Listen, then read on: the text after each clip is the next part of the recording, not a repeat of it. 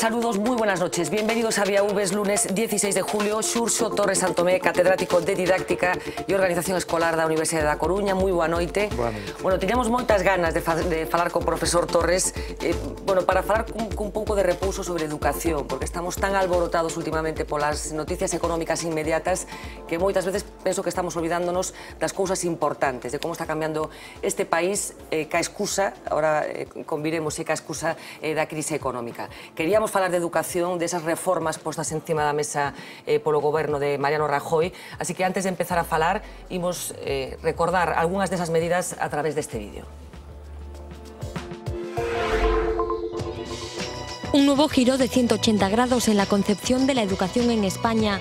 José Ignacio Bert es el estandarte de una serie de cambios que comienzan con recortes pero terminan con una reforma en profundidad del modelo actual. Todo comenzó con sus seis medidas estrella para ahorrar 3.000 millones de euros. Un 20% más de alumnos por aula. En Galicia, además, se recuperan las escuelas unitarias. En la misma clase habrá niños de entre 6 y 12 años, desde los que empiezan a leer hasta los que se preparan para la ESO. Más horas lectivas para los profesores. Se elimina el número de horas máximas, pero se fija un mínimo. El profesorado se queda sin los complementos retributivos. Además, cuando un profesor falte hasta 10 días, se suplirá su ausencia con personal del propio colegio. Habrá menos donde elegir. Los centros podrán ofrecer solo una rama de bachillerato y se retrasa el cambio previsto en los módulos de FP. A todo esto le siguió la polémica subida de las tasas universitarias. Quienes se matriculen por primera vez pagarán entre un 15 y un 25%. Si tienen que repetir, el porcentaje seguirá subiendo hasta alcanzar el 100% del coste total de la matrícula. Habrá menos becas y conseguirlas será más difícil. A partir del curso 2013-2014 hará falta un 6,5 de media para obtener una ayuda. Los alumnos que no aprueben como mínimo la mitad de las asignaturas tendrán que devolver la beca. Los colegios concertados tampoco se libran. Las comunidades podrán duplicar las cuotas que pagan las familias con hijos en estos centros. Sus profesores también cobrarán menos. Los cambios no se quedarán ahí. El gobierno quiere eliminar la selectividad. En su lugar, establecerá reválidas, aunque no se llamarán así al final de cada ciclo. Además, quieren reforzar el tiempo dedicado a las materias básicas, un 25% más para lengua, matemáticas, ciencias e inglés. Y eliminar educación para la ciudadanía. Solo se podrá pasar de curso con dos suspensos. Y en tercero de eso, habrá que elegir ya bachillerato o FP. LOECE, LODE, LOCSE, LOPEC, LOCE, LOE y ahora un nuevo cambio. La educación vivirá su séptima gran reforma de la democracia. Bueno, estes son os grandes titulares das reformas que se veñen anunciando nos últimos tempos, eh, pero queríamos entrar un pouco polo miúdo en no que vai supoñer eh, toda esta reforma para empezar, eh, profesor Torres, que consecuencias eh, van ter os cambios eh, programados polo goberno? Eh, Bueno, eu creo que mm, de alguna forma destruir xa claramente o que era o sistema educativo tal e como coñecíamos, sobre todo a filosofía do que se trataba, non? que era formar unha ciudadanía informada, solidaria, xusta, con valores como guiados de justicia, solidaridade, cooperación, inclusión, eh, unha educación que axudara de alguna forma a corregir toda unha serie de distorsións que había na sociedade, o sexismo, entón queríamos que fora unha educación antisexista, antirracista, anticlasista, inclusiva, eh, todas esas palabras desapareceron. E agora só escuitas eufemismos como coalidade, eh, emprendimento, excelencia, competitividade, eso, competitividade ¿no? E incluso aquelas palabras que sonan ben están distorsionadas, porque claro, eh, quen é o que sopón a ser un profesor e unha profesora excelente ou de gran calidad? Ninguén. Uh -huh. O problema é que hai debaixo dese concepto e como se avalía ese tipo de concepto. Uh -huh. Entón, eu creo que ese é un gran problema. ¿no? E E é unha especie de... Que decir, mira, por exemplo, as últimas, mm, o último borrador que sacaron de anteproyecto desa lei orgánica que chaman tamén eufemísticamente de mellora da calidade sí. do sistema educativo. E tú ves aí medidas que son claramente de destrucción xa do sistema público e dun sistema máis ou menos inclusor. Porque, que se está propoñendo aí? Se están dicindo que vamos a recortar xa a troncalidade o dereito a unha educación comprensiva hasta os 16 anos. Porque aos 13 anos xa os estudiantes se lles vai a dar un tipo de materias optativas para que podan facer programas de cualificación profesional. E se van a xenerar materias optativas para abrir esa vía. En, lóxicamente, cos 15 anos xa teñen que decidir se van a FP ou ao bachillerato profesional. Claro, Eso, ademais de ser unha tremenda injusticia e que o único que significa é unha política de reforzamento de, e de agrupamento dese alumnado por clases sociais, porque xa sabemos quen é o alumnado que vai ir aí, porque xa máis se dice, no, é o alumnado con dificultades de aprendizaxe, etc. Bueno, eu todos sabemos o que significa eso na realidade, porque temos experiencia no que pasou neste mesmo país e no que pasa nos países onde estas medidas están funcionando así. Rápidamente, eso está aí clase, non? Logo, o que che están dicindo é que, ademais, eh, se van a reforzar determinado tipo de materias. Un 25% máis de tempo dedicado a eh, matemáticas, matemáticas sí. ciencia e comprensión lectora, o que, sí. o que mide PISA e sí. os idiomas. Uh -huh. Mira, ata onde dice a estadística, España é dos países de Europa que, te, que ten, donde o alumnado ten, tanto en infantil como en secundaria, maior número de horas de escolaridade. Que decir, non é, non é previsible que aumenten máis horas de escolaridade, ni máis días letivos, nada deso. A quen lle van a quitar ese 25%? todos sabemos o que significa Algunas eso. asignaturas. Bueno, claro. imos, imos ir enseguida eh, deteniéndonos en sí. cada unha das medidas, pero antes, eh, hai un discurso que comparte, neste caso, o ministro de Educación con outros ministros eh, que ten que ver ca situación económica. Mm. A excusa ou a situación económica xustificaría eh, moitas das cousas que se están tomando. A miña pregunta é, isto forma parte dun plan ou realmente ten que ver con que hai que recortar porque o país non dá para máis? Eso é a política de apostar claramente pola desigualdade de oportunidades e incluso hasta na linguaxe que teñen. Mira, eu digo que últimamente lles dá por apostar por eh, argumentos infalibles. Te imaginas o que significa iso. Porque a que recurren? A Deus. Mira, Esperanza Aguirre acaba de publicar o día o sábado, o día 7, se non me mm. equivoco, que era sábado, deste mismo mes, un artículo no ABC que dice por un bachillerato como Dios manda. Cantas veces lle escuitamos a Rajoy a muletilla como Dios manda? E digo, pero como como Dios manda? ¿no? Eso xa dice, usted non me discuta isto porque temos un mandato divino. Mas hai moito ese tipo de argumentos, non hai ningún debate sobre educación. Os debates que abren son falsos. Este dice que abren unha web, agora dixo ver que abrían unha web no Ministerio para contestar a isto. Pero dice, pero cuidado, que se a xente non, non lle gustan este tipo de medidas, lóxicamente nós tomamos a decisión. Claro. Pero vamos a ver, hai un debate ou non hai? Se hai un debate, é admitir a posibilidade de recoñecer que un está errado. E iso en educación se leva moito tempo onde o profesorado está sin voz ningunha, nin todas as aquelas persoas que investigan e coñecen un pouco o sistema educativo.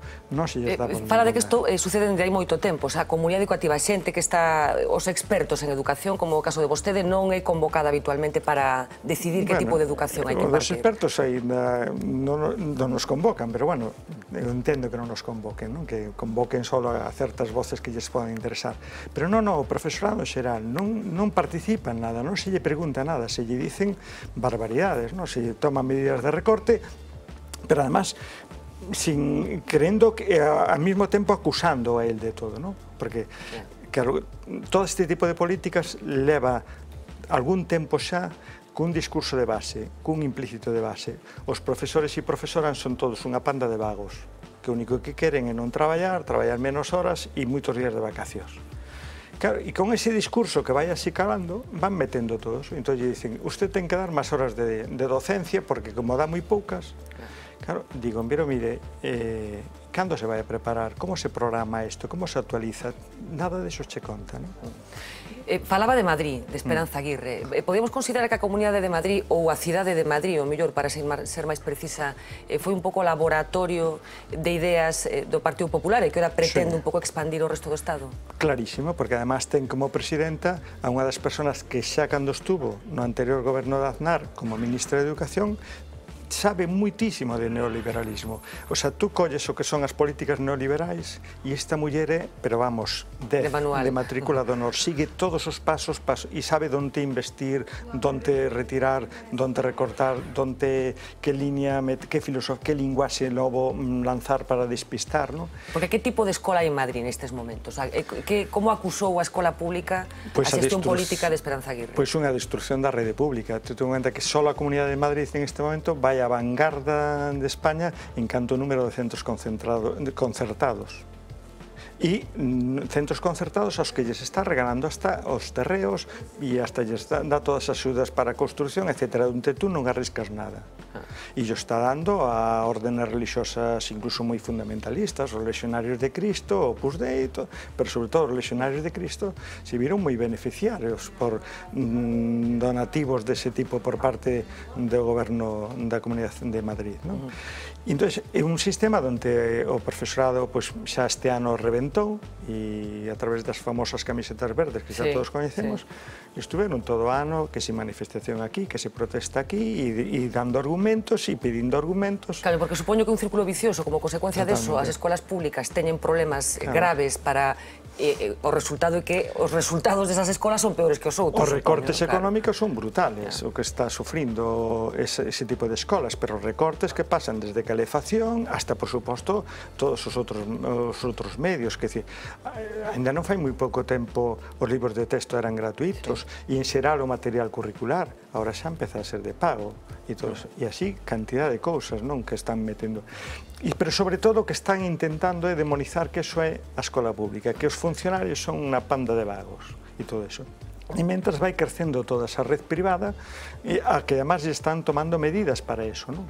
porque eh, Madrid xa fai tempo que elaboraron as políticas dos rankings, o sea que veñen avaliando externamente o rendimento do alumnado E logo, ainda que a lei dice que está prohibidos os rankings, a mí me dá o mismo. Tú dame os resultados, claro. que o ranking xa o pago eu. Claro. Fai cualquier xornalista claro. fai ese tipo de cuestión. ¿no?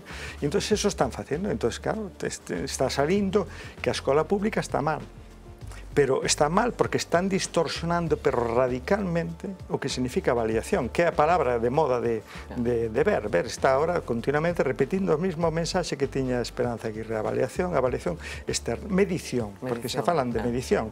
Con últimas propostas xa especifican sin complexos, xa sin complexos. complexos. E además te dicen, hai que medir exclusivamente os outputs dos sistemas, non os input. Quer dizer, hai que medir a avaliar os estudantes, o que aprenderon, non sin tomar en consideración inversións feitas en esas escolas, ratios dese profesorado, número de profesores e profesoras que ali hai, eh, programas de actualización, recursos didácticos dos centros, bibliotecas... Eh, poño antes, unha, en, eh, antes de empezar a entrevista un exemplo moi gráfico que eu dá unha carreira, non? Sí, no, eu digo que este como, nos, como si as Olimpiadas, agora que veñen as Olimpiadas, sí. na carreira 100 metros lisos se midise quen é o que chega antes aos 100, ao metro 100, independentemente de onde saia.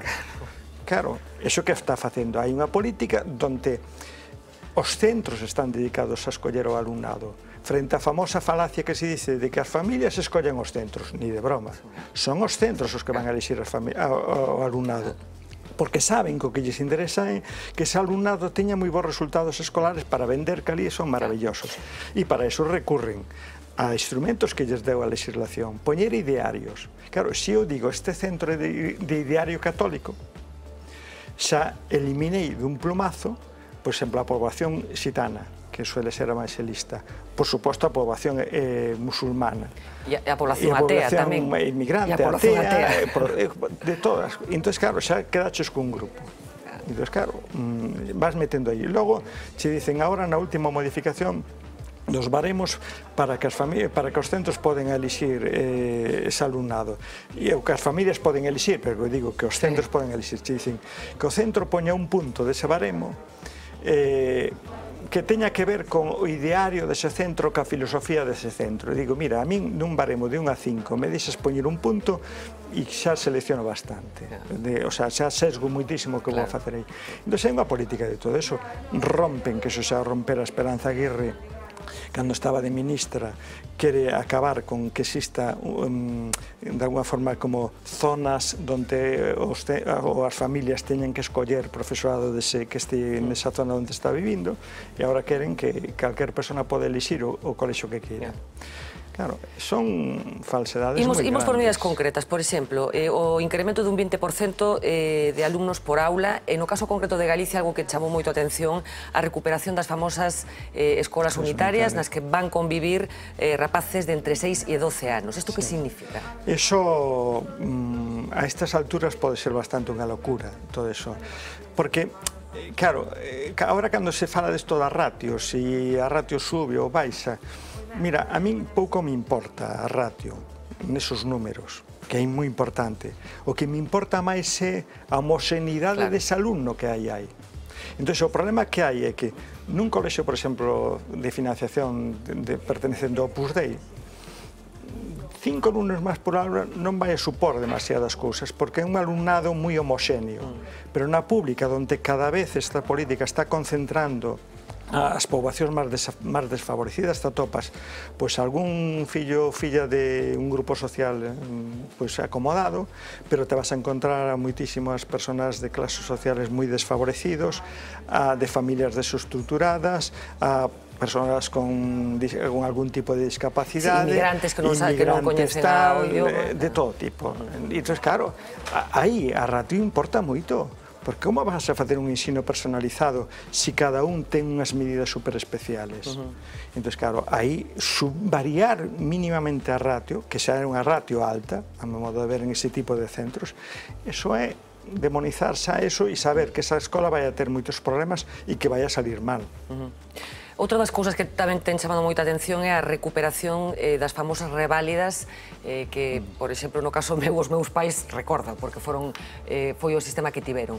Sí. Que significa estas tres reválidas que quere recuperar Bert, que xa se ocupou de decir que non se van chamar reválidas, pero que na práctica van ser o mesmo? É un sistema que intenta mm, xa ir xerarquizando os alumnado e a ver como os vai, de alguna forma, eliminando o sistema educativo canta antes ou levándose hacia aquelas ramas menos cualificadas, ¿no? que, o que está producindo isto, entre outras cosas, é unha volver a desprestixiar unha rama que xa empezaba a ter eh, bastante éxito, como era a formación profesional, na medida que che digan que aí van as, os grupos sociales máis desfavorecidos. Entón, eso vai por ese tipo de políticas.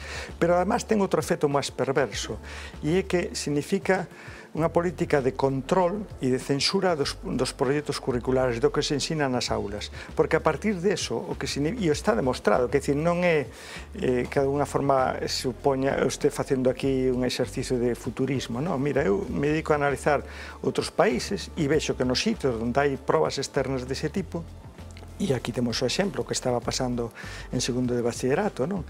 Ese ano é un horror Ese ano é claro. un entrenamento para, para facer claro, os test. Claro. E entón, o que está pasando, o que vai a pasar, é que os estudantes, en vez de estar recibindo unha educación máis integral, van a dedicarse a, a adquirir habilidades para engañar e para pasar esos test. E quen vai facer eses test? Porque esa outra das preguntas que convén facer, non? Outro dos grandes negocios que se abren no futuro bueno, que xa está medio aberto. Que decir, eh, tú, como van a ser eh, avaliadores externos, as ciencias externas, aí eso vai a ser un gran negocio. Que, e tú imagínate que negocio significa pasar ese tipo de probas a todo alumnado de todo Estado en tres momentos evolutivos dese, dese sistema educativo. É un negocio increíble.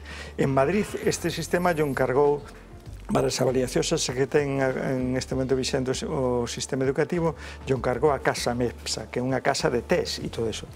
Claro, E iso xa che está distorsionando, porque se está avaliando cunha proba de lápiz e papel dun test que pasas un día, etc un sistema que levaba tempo mm, revolucionando todo ese concepto e dicindo, no, mira, aquí o que se necesita é avaliación continua, porque tú un día, ante unha prova, porque estar nerviosa, o que se xa, te sale mal. Okay. E vexo cos meus estudantes, eu sempre lles digo, eu vos poño unha prova final que avalía, que sirve para que os estudantes pois, o que nunca veñeron a clase, o que nunca escoitei o participar na clase. Claro, pero se non, ni de broma, vou a tomar en conta, ao revés, hai estudiantes, dices, pero se este leva matrícula de honor, e miras o examen e ten suspenso, digo, bueno, se puso nervioso. Ou Que eh, hai un argumento moi recurrente últimamente que ten que ver ca cultura do esforzo. Mm. Eh, bueno, como consecuencia de sistemas educativos anteriores nos que os alumnos pasaban de curso, eh, ainda pero que suspenderan... Era un mito. Eh, era un mito. Era un esto. mito, eso. Podía haber en algún caso así, pero eso non era, eso non é mito. E non hai persona que non se esforza. Toda persona se esforza. Cando ve que aquilo pro que se vai esforzar merece a pena pero se non, non. Mira, eu cando saliu, a primeira vez que saliu todo ese tipo de discurso, eu puxe un exemplo en algunha publicación que fixen.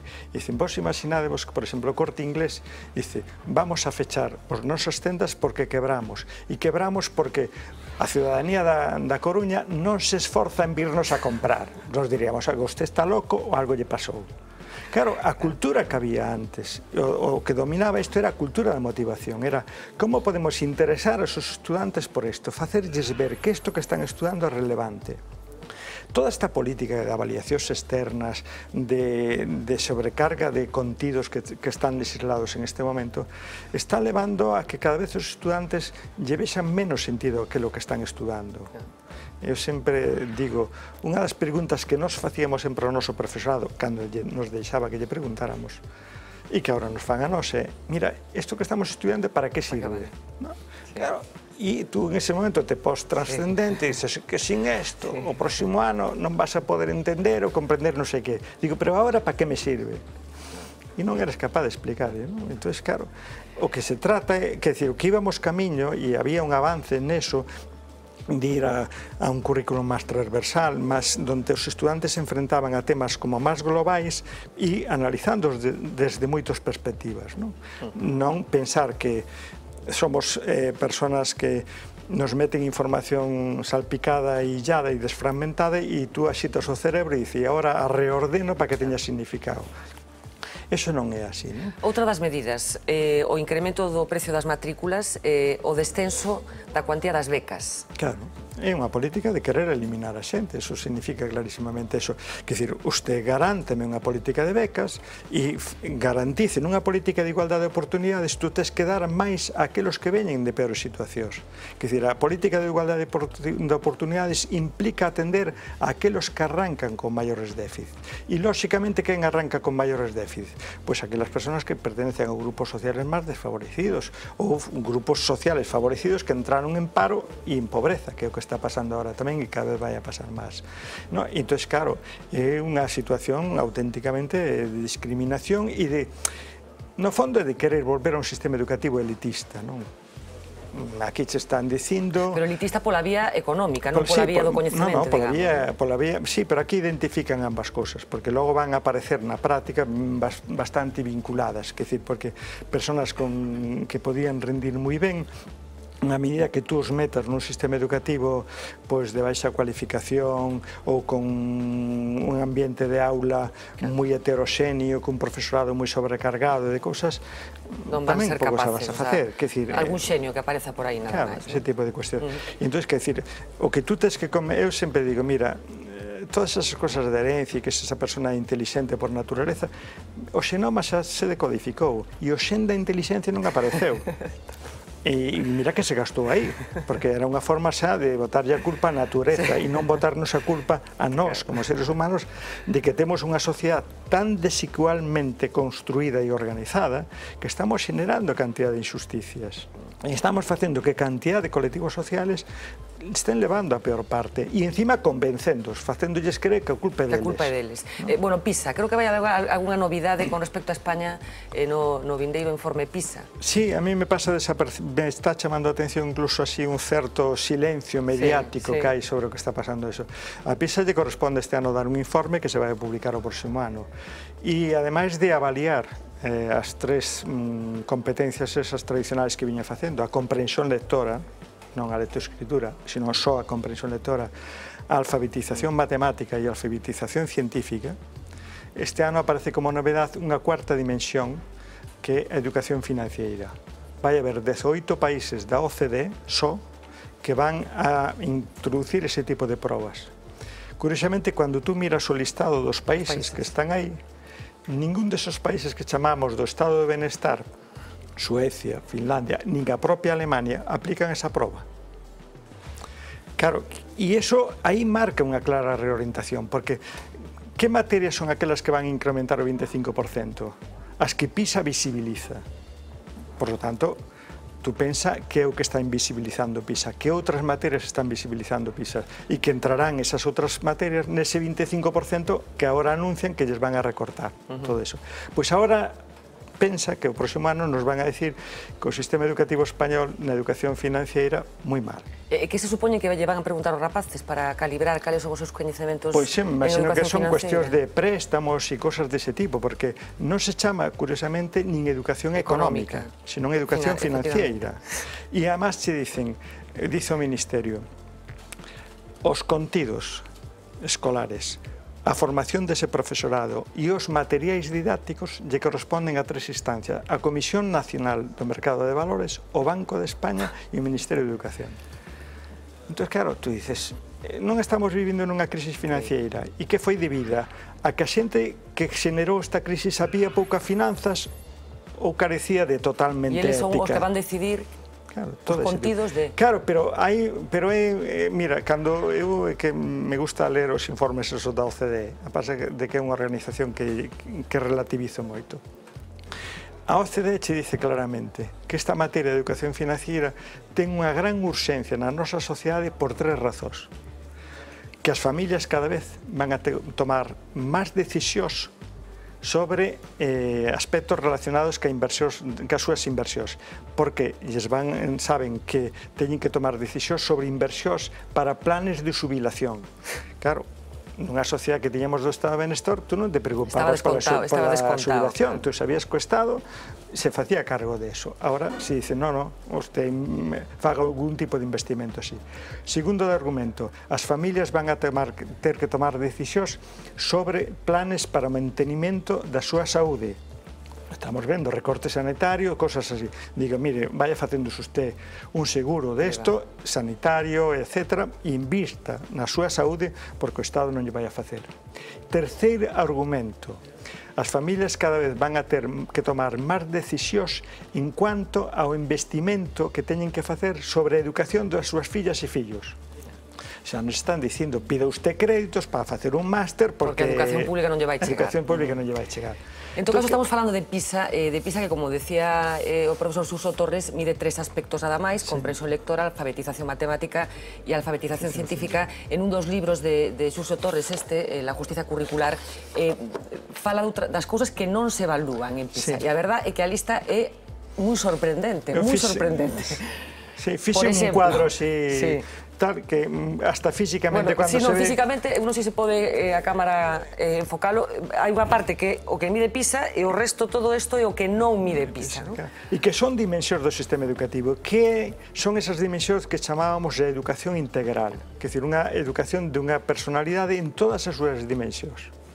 Entón, claro, mmm, dá o mismo que tú teñas unha formación ética, que tú sepas situar un fenómeno histórico, sí, formación un fenómeno literaria, literaria, por exemplo, no, no, eso xa, capacidade no, no, eso, de análisis crítico, ni máis ni menos. Eso ah, nin educación deportiva e, por suposto, educación afectivo-sexual, nin nada deso, nin cantidad de, o sea, cantidad desas dimensións que estaban aí no sistema educativo e que era o objetivo que tiña todo o profesorado e que ten todavía o profesorado na mente, uh -huh. porque todavía foi socializado nese tipo de filosofía dunha educación máis integral, que había que atender as dimensións de valores, etcétera todo eh, eso... Por que Finlandia decide non, por exemplo, Finlandia, que é o referente, eh, seguindo a Pisa un pouco, Finlandia é un, un dos referentes de, de, de escola pública no mundo, por que decide que non lle interesa pues, que se Pois, entre sometan... cosas, eu entendo, porque a súa poboación non ten que tomar decisións sobre investimentos de planes de pensión, sobre a saúde e sobre a educación, porque sabe que a ten garantida por o Estado, por os impostos que está pagando. Mm, mm. Entón, lóxicamente, é unha contradición. Quer decir, eso fai dez anos calquer político diría, pero isto é unha locura. Digo, mire, eso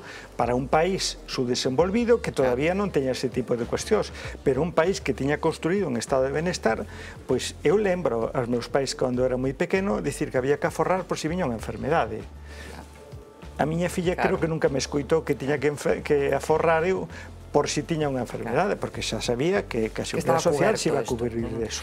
É peor a escola hoxe que nos anos 70, por poñer unha época particular da historia de España? No, eu creo que a escola mellorou moito e se conseguiron grandes avances e a prova é que o número de persoas que temos que teñen a escolaridade obligatoria estos 16 anos é moi grande, que dicir, porque incrementar dous anos a escolaridade de 14 a 16, aonde que existan aí tasas de fracaso, requiere un sistema educativo moi bon, porque senón o fracaso sería estrepitoso, non? Mm. Porque tasas de fracaso que hoxe se están tendo os 16, antes se tiñan os 14, entón, bueno, aquí se foi mellorando todo ese tipo de cuestións, non? Se incrementou o número de poboación, formación que, que ten bachillerato feito, que accedeu á universidade, etc. E os datos son así, que decir, eh, datos de Eurostat che dicen que a poboación española de, 20, de 25 a 29 anos ten un 44% desas persoas que están traballando ten sobrecualificación, ten máis formación que a que se precisa para traballar no que está facendo. Cando a media de Europa é das persoas que teñen sobrecualificación nesas mesmas edades andan o 19% somos líderes de, de Europa e casi do mundo. Claro, aquí tendemos a flaselarnos moito claro. con respecto ás capacidades de, dos estudiantes, pero despois, por exemplo, Alemania, Alemanha, que nestes momentos claro. como referente do mundo, eh, bueno, apresúrase a contratar a xente formada aquí, por exemplo, os arquitectos, dicen claro, que son os millóns do mundo. ¿no? Arquitectos, médicos en Inglaterra, en Portugal, e todo. Eh, que decir, tú estás mirando que aquí están demonizando o que está salindo do sistema educativo. E Europa dice, mándenos para aquí ese, claro, ese tipo de claro, personas. Claro. ¿no? Diga, oiga. E logo, ao mesmo tempo, tú ves que as personas personas están traballando con máis sobrecualificación. O que habrá que revisar é que tipo de, de empresas públicas xenera o Estado e que tipo de, empresa, de modelos empresariales temos aquí que, que están desaproveitando esta capacidade que outros países queren. ¿no? Entón, bueno, o que me temo que aquí é que hai unhos sectores empresariales e unhas empresas públicas que se dedicaban tamén a crear as súas empresas que non recoñeceron ese tipo de, de mm. capital cultural que aí había. ¿no? Bueno, estamos rematando xa, Suso Torres, pero mm, eh, como última pregunta, eh, mm, parece que esta reforma vai adiante, tendo en conta como está repartida esas maiorías no Parlamento sí. Español, que tipo de sociedade eh, vai construir este modelo educativo? Unha, unha sociedade dualizada, porque xa, xa temos un sistema educativo dualizado, eh? que decir, eh, os centros escolares están organizados por clases sociales, incluso por sexos. Que decir, temos sistema, colexios para nenas, colexios para nenos, colexios por clases sociales, colexios por etnias, colexios por creencias religiosas, colexios de todo tipo. E digo, mira, a aposta que tiñamos aquí era a escola pública. E era unha escola pública que queríamos que fora obligatoria e gratuita porque queríamos formar unha ciudadanía donde as persoas se coñeceran unhas a outras e que viran que os homens e mulleres somos iguales, que as persoas de outras etnias e de outras clases sociales somos todas iguais. E, e as persoas que teñen eso que chamaban discapacidades, pois son persoas que poden vivir con nós e deben vivir con nós. E a prova é que hoxe temos a primeira xeneración de persoas adolescentes que saben vivir con persoas discapacitadas. Todo eso se ven abaixo. Que estas políticas de avaliacións, de rankings, de, de todo eso, o único que significa a ver como nos eliminamos este tipo de personas destos centros e os vamos concentrando en escolas gueto, que é o que está pasando agora. Non? Eu incluso teño así unha metáfora, digo, mira, en vez de estar creando escolas, estamos creando clubes. Os clubes defenden intereses privados e aí se agrupan as persoas que comparten algún tipo de interés e, etc. Claro, a escola era todo contrario. Era un sitio onde íbamos todas as persoas, estábamos xuntos independentemente da nosa clase social, etc., do noso sexo, das nosas creencias religiosas, da nosa sexualidade, etc., para aprender a convivir, porque logo íbamos a estar vivindo xuntos. E, e en algún sitio era o único espacio que había para aprender a vivir xuntos. Eso se está rompendo, co cual me temo que será unha sociedade onde empecemos a sospeitar, non? Bauman dice Cando lle preguntan que é unha ciudad, unha ciudad é un sitio repleto de desconocidos sospeitando uns de outros. Digo, e o sistema educativo, por desgracia, é posible que hasta contribuya a que sigamos sospeitando uns de outros. Xurso Torres, un auténtico placer escoitar no, as súas palabras, de verdad. Tiñamos moitas ganas de falar eh, con vostede bueno. e de falar un pouco de educación en profundidade da, da sociedade que estamos construindo, que ao final é do que estamos falando cando falamos de educación. Moitísimas grazas. Nada, gracias e o gallá, que os seus pronósticos non se cumplan. Espero. O gallá. No, eu creo que o futuro, vamos a dicir, decidir entre todos, que decir, non son negativo ante o futuro, porque creo que a ciudadanía, cando se dá Ainda conta das cousas, se mobiliza, uh -huh. E espero que o faga, e, bueno, está facendo, neste momento Madrid está en sí, nas rúas. está tomada, efectivamente. Pues. Graciñas, Gracias, moi boa noite. Imos a publicidade, un ratiño pequeniño, e eh, volvemos enseguida, hasta ahora.